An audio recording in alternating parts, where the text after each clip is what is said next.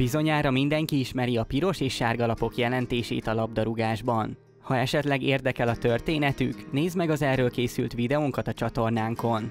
Kevesen tudják viszont, hogy létezik másmilyen színű kártya is a futballban. Volt olyan eset, hogy egy zöld lapot mutattak fel egy mérkőzésen, sőt nem is olyan régen egy fehér villant fel a játékvezető kezében. Na de pontosan mit is jelentenek ezek a színes lapok? Miért kerültek bevezetésre? Ebben a videóban ezeknek jártunk utána.